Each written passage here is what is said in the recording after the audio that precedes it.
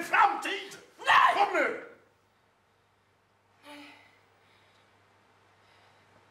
Jag vill inte gå. Jag upplever ju att Jolie driver sin egen död. Hon utmanar Sean och också någonstans att, han, att hon använder sig av honom. Men jag, jag upplever också att det hela tiden finns vändpunkter där det finns ett hopp.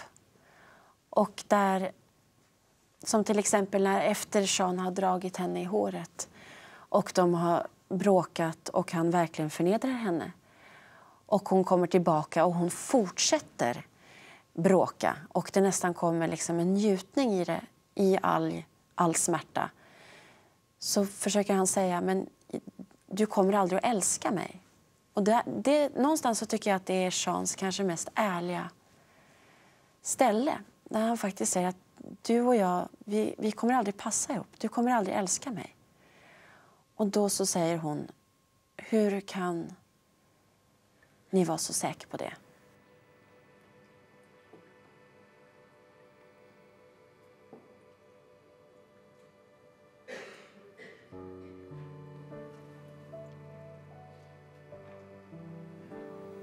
Att jag skulle kunna älska er. Utan tvekan. Ni är så vacker. Bildad. Kärleksfull. När ni vill. Och när ni väl har väckt en mans låga så slocknar den nog aldrig. En kyss av er mun är som glödgat vin med heta kryddor.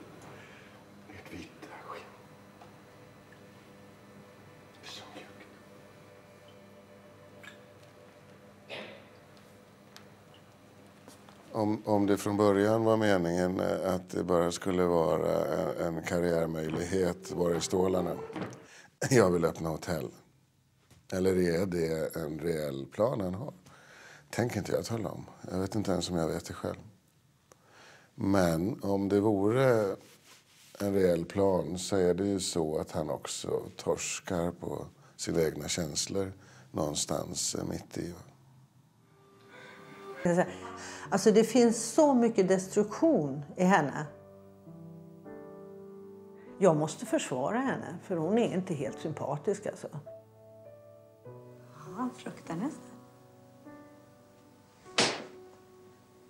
Hon hade starka svängningar. Och jag tyckte att då trodde jag på det där att Strindberg hatade kvinnor och hatade Siri och alltihopa. Så jag, jag skulle försvara henne mot alla karlar, vet du. Mot Strindberg och Tommy och GV och alltihopa. Och eh, också mot mig själv som inte helt var överens med henne.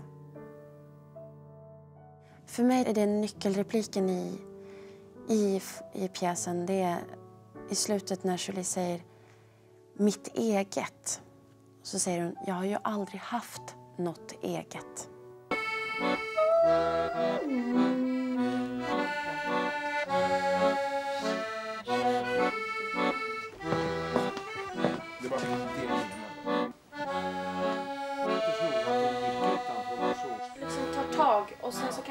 Går ett tag och sen så...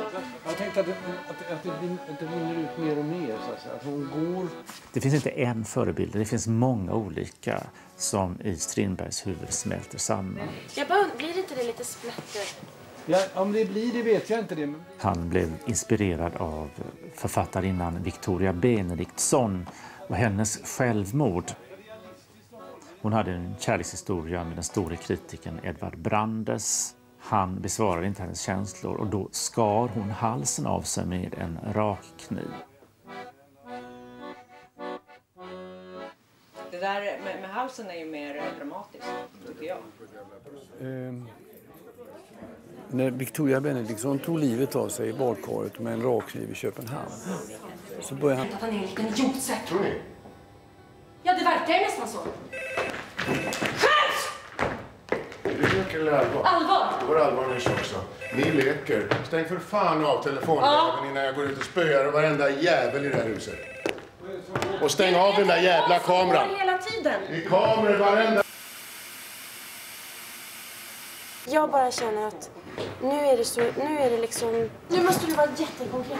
Ja, konkret är jag så tillvida att jag menar helt enkelt att, att Nu du... måste du konkretisera jävligt, för nu är det så jävligt viktigt att vi är konkreta med det. Skynda dig nu Hedvig. Den där jävla micken. Alltså, det här vill inte jag ha inspelat. Stäng av. Det spelar ingen roll, Tommy. Jaså, okej. Har du haft en mick på det här? Ja, lite skit i bägaren är bara bra. Jag ska försöka hålla mig så lugn det går. Jag är som jag är, som Jean säger. Här, här har du mig. Är fröken Julie galen igen? Fröken Julie, var nu vänlig och hör på mig. Kyss min hand Ja, visst, men skyll er själv. Vad dumt gjort Johan. Mycket dumt. Hur kunde jag göra det jag gjorde med er? Det finns faktiskt inget annat slut. Gå.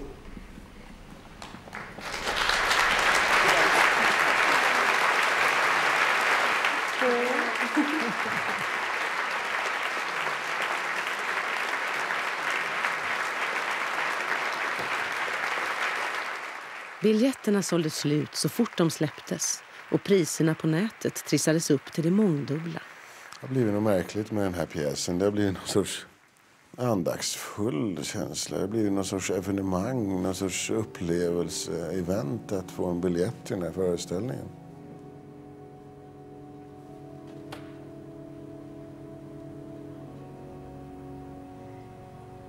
Fröken Julie på Dramaten 2005.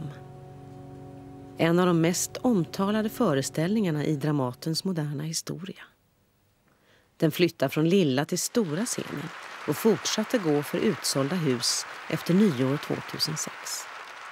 Publik av alla de slag strömmade till Nybroplan i Stockholm.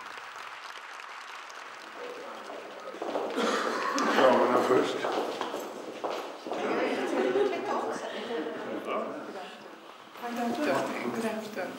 Hej. Ja, välkommen till uppstånden. Vad härligt.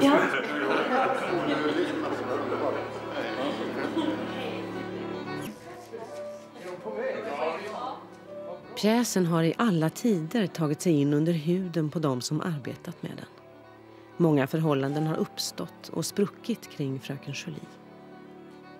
När verkligheten möter dikten i Strindbergs drama lämnas ingen oberörd. I den här uppsättningen så är det ju ehm, många märkliga parametrar eh, som vi kan både använda och eh, ha som en black om foten. Det är ju, eh,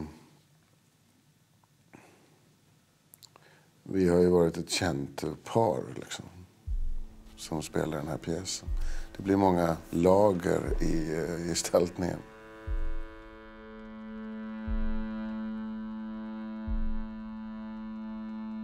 Vi eh, har en förmåga, skådespelare, att använda allt det som är ens liv på scenen.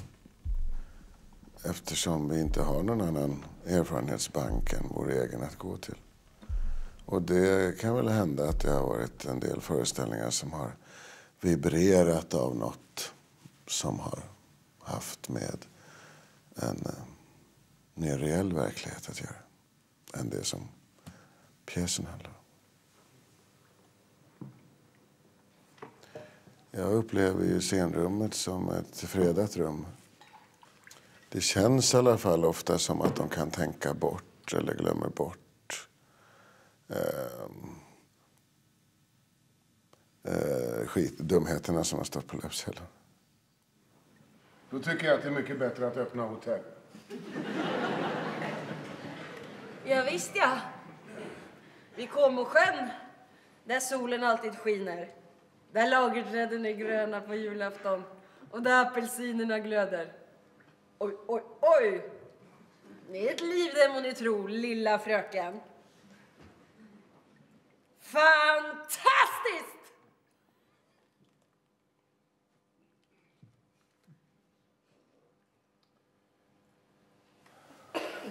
Comosjön är en jävla regnhåla. Såg inte en enda apelsin.